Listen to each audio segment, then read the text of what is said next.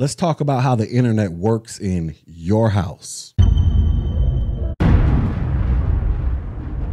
What up, everybody? This is your boy Tech Gee back with another video. And in this video, we're going to be talking about how the internet works in your house. Now, first things first, shout out to everybody that's been going through my IT fundamentals and my A plus course. If you're brand new to IT and you want to learn this stuff for free 99, just go hit the playlist on my channel. I have an IT fundamentals course and I have a full blown A plus course to get you guys up to speed with the wonderful world of IT so that you can go out there and make the big bucks, ladies and gentlemen. So, like I said, shout out to everybody that's been rocking with that course material. Now, if you have been going through that course material and you've heard me talking about terms such as switches, access points, routers, modems, cable, DSL, fiber, etc., etc., and you're like, okay, I hear all this stuff, but exactly how does all this stuff mesh together to make the internet possible? Well, I'm gonna show you guys with my handy dandy Picasso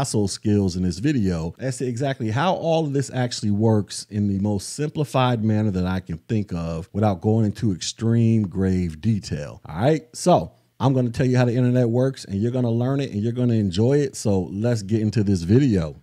All right, so in your home, you more than likely have a smartphone, some type of tablet, or maybe even a laptop that you use for wireless internet connectivity so you can get out there and live your best life surfing these internet streets. Also, in your house, you may have a laptop or a desktop computer that may be hardwired to your wireless router in your house. So, this is typically what you will find in the average household. You'll find mobile devices and you'll find desktop computers, right? So, these devices, they are connected to a device called a switch. And this is a switch right here that is being represented by a little square with two arrows going in opposite directions. Also, if you're using mobile, you may have another device called an access point or a wireless access point. Also, there is another device called a router, which is represented by this circle right here that has arrows going up and down and left and right. And then there is another device called a modem, which is going to be represented by this device. We'll just put MD for modem. And then you have the internet, which is represented by this cloud looking thing over here.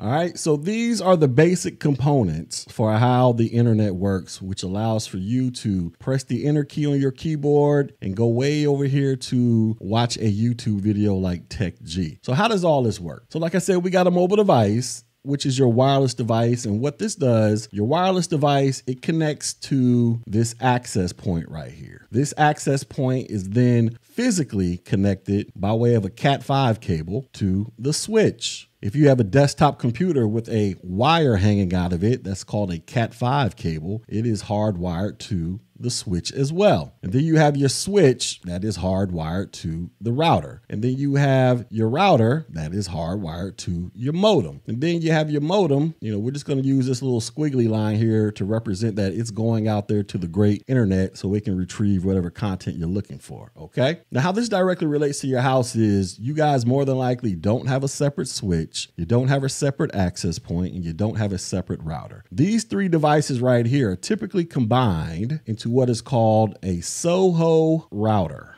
small office, home office router or your wireless router as you guys all know it. So you guys go look at your wireless router, you might see some antennas hanging off of it. You'll see a couple ports on there, and then you see another port that has some type of Cat5 cable or something hanging out of it. That is your wireless router. Basically in the Soho environment, it combines all of those elements into one device to save you money and save you space. All right, so how this works is like this, ladies and gentlemen. So you're on your mobile phone, you're over here pressing buttons, you're on your laptop, you're over here pressing buttons because you want to see Amazon.com over here or you want to watch a YouTube video over here, right? That's what you're out here doing, trying to live your best life, right? So as you're pressing buttons, you're actually sending a bunch of ones and zeros, ones and zeros across the ether or across the wire. Ones and zeros. They're physically moving across these mediums right here. If you're on mobile, your ones and zeros travel through the air and they hit this access point, which then converts to ones and zeros zeros to put them on a physical wire and send them down into the switch. If you're on a hardwired connection like a PC and you're pressing buttons to get access to YouTube or Amazon or Google, it sends those ones and zeros directly into the switch. And what the switch actually does, the switch says, hey, I recognize both of these devices. They're allowed to be in this network. I'm going to let you communicate to try to get on out here to the wild, wild internet, right? Now, everything from the switch back to your mobile devices this is called your LAN, your local area network. Your switch manages all the devices within your network that are trying to reach out and communicate with the internet. And how it recognizes this stuff is by it has it keeps essentially a record of the MAC addresses that are associated with these devices. Now, after it collects all the ones and zeros, saying, hey, I want to go out there and reach the internet, it then passes it off to the router. The router then takes those ones and zeros and says, Hey, you want to go to Amazon? You want to go to YouTube? Okay, let me slap a quote unquote destination label on top of these ones and zeros. So I guess the best way you could think of this think of this like a package that you are dropping off at the post office that you're trying to mail to a friend. You box the package up. Inside the box are all your ones and zeros. At the post office, they go ahead and print a label out, slap a label on the box, and throw it in the back to prepare for it to be shipped. This is what the router essentially does it takes your ones and zeros that have been handed off from the switch and prepares it to get a destination label slapped on it so your ones and zeros can go to their appropriate destination so that you can interact with the internet. So after the router does that, the router then sends that information to the modem. And modem stands for modulate demodulate. So, what the modem actually does, depending upon the type of internet connection that you are paying for that's coming into your house, it's going to take those ones and zeros that have been packaged up by the router and put them in the digital equivalent of an Amazon Blue Truck. So you're like, wait a second, what do you mean? So when the Amazon guy goes to pick up your packages from the warehouse, they put the packages into the Amazon Blue Truck, and next you know, you see the Amazon Blue Trucks driving all around the city to deliver the packages. This is what the modem essentially does. Now, how this works is like this. So you may have a fiber connection, you may have cable internet, you may have DSL, you may have satellite, or you may have RF line of sight, or radio frequency internet. Depending upon what type of internet connection that you have that you are paying for to go to your house is going to determine the speeds that your ones and zeros are going to travel back and forth across the internet. So you could think of it like this. Here we are at the Amazon warehouse or the post office, and we're getting ready to ship these packages out, our ones and zeros that are in the box with their shipping label on it, right? If we have satellite internet, just imagine that I'm taking my package of ones and zeros zeros and I'm putting them inside of a garbage truck that can only travel 45 miles per hour. Well, the garbage truck signifies my internet connection, and the 45 miles per hour signifies as to how fast my connection can actually push the ones and zeros across the wire for me to establish connection with whatever website that I'm trying to interact with. And we all know garbage trucks are pretty slow, and the slowest internet connection up on here would be satellite. So think of satellite as your garbage truck. Now, let's just say you have a fiber connection. Well, just imagine you're going into the modem or you're going into your garage and you see a Ferrari sitting in the garage. Well, Ferraris are pretty fast vehicles. So just imagine that your fiber connection is the Ferrari and you throw your packages into the Ferrari and you want to get your packages across town. Let's just imagine that there are no speed limits on the highway. Well, that Ferrari is going to be able to get up and get it at really fast speeds in comparison to that of a garbage truck, aka your satellite connection. So essentially, the modem is basically the means for how fast it's going to allow your ones and zeros to travel across the wire so that you can interact with whatever website that you're trying to interact with by the time you hit the enter button on your computer and you request to watch a YouTube video. And by the time that thing comes back to you, so you can watch that video, your modem and your internet connection are going to dictate how fast those speeds are actually moving. Okay.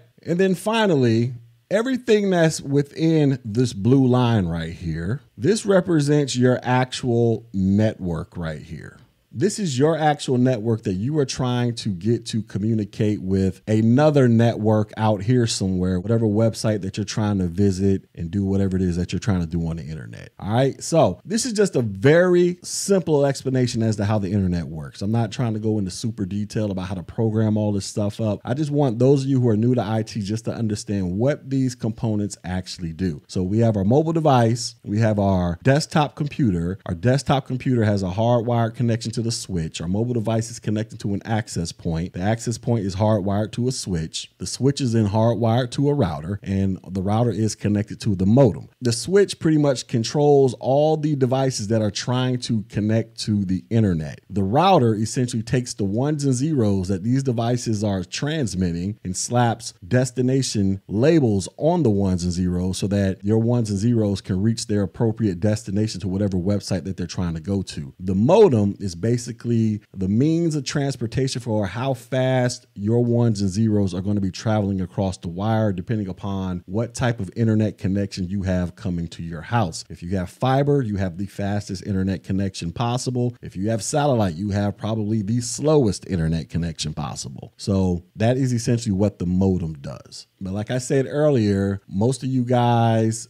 don't have a separate access point. You don't have a separate switch. You don't have a separate router. Most of y'all probably just have a wireless router and a modem in your house. And the access point, the switch, and the router, these things are typically combined to form what is called a SOHO router or a small office home office router. So, in a nutshell, ladies and gentlemen, this is essentially how the internet works in a very super simplified explanation. So, hopefully, you learned something from this. In the future, I'll probably be making more videos explaining how each of these actual components work in a little bit more detail. But this is really just for those of you who are just learning about IT and you've been watching my videos in my IT fundamentals course or my A plus course, and you've been hearing me throw these terms around access points, switches, routers, modems. Well, this is how all of these components actually come together, which allow for you to communicate with the internet through your phone or through your laptop or through your desktop computer.